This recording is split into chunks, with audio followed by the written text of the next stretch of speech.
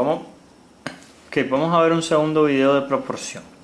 primer video vimos que la proporción dice que son muestra los tamaños relativos de dos o más valores, ¿verdad? Ahora, este otro concepto es un poco más amplio. Dice la proporcionalidad es una relación entre magnitudes medibles. Aquí es donde yo les comentaba, demuestra los tamaños, magnitudes medibles porque puede ser volumen, área eh, y números, longitudes lineales. Ok, veamos la siguiente tabla para entender un poco mejor el concepto de proporción. Ahora, si un saco de, azúcar o de arroz, un saco, digamos azúcar, arroz, papas, etc. Pesa, ese saco pesa, pesa 20 kilogramos. Vean aquí el número de sacos y aquí el peso en kilogramos. Un saco pesa 20 kilogramos, ¿verdad? ¿Cuánto pesan dos sacos? Pues dos sacos van a pesar 40 kilogramos. Ahora, si un cargamento de azúcar o de arroz, un cargamento pesa 520 kilogramos, si un cargamento pesa 520 kilogramos, ¿cuántos sacos de 20 kilogramos se, se podrán hacer? Entonces hacemos una tabla 1, 2, 3. Estos puntos significa 4, 5, 6 hasta 26 y aquí 20, 40, 60, 520. Entonces es muy sencillo. Lo único que hacemos es, para pasar de la primera fila a la segunda, para pasar de aquí a aquí, lo que hacemos es multiplicar por 20.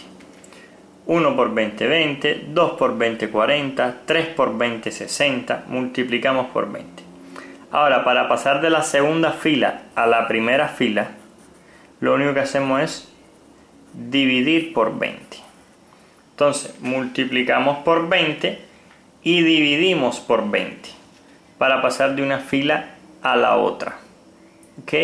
Entonces es importante que nosotros sepamos que, que 1 entre 20 es igual a 2 sobre 40 igual a 3 sobre 60.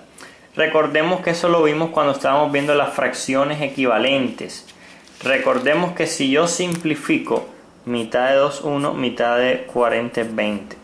Tercera de 3 es 1, tercera de 60 es 20. Entonces son iguales. Lo mismo puede ser igual a 26 sobre 520. Lo mismo puede ser igual a 4 sobre 80. Igual a 5 sobre 100. O sea, es lo mismo porque son fracciones equivalentes. Si yo simplifico acá, es 1 sobre 20.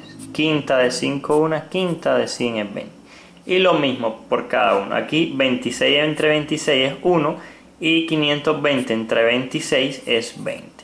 Todas son equivalentes. Entonces espero que este video de proporcionalidad les haya ampliado un poco más su mente. Vamos a hacer otro con otros datos estadísticos un poco más real. Aunque esto eh, es algo que podemos ver siempre. Usted vaya al super cuando vaya con su mamá esta va a ser la tarea, usted les va a preguntar cuánto vale una libra de papa o puede ser un paquete de galletas, etc. Y entonces lo que vamos a hacer es eh, paquete de galletas. Vamos a ver galletas. Un paquete, dos paquetes, tres paquetes. Ahora el precio supongamos que es, calculémoslo en Córdoba, pero pongamos la moneda de su país. Supongamos 15. Entonces, un paquete vale 15, dos paquetes valen 30, tres paquetes valen 45 y así sucesivamente.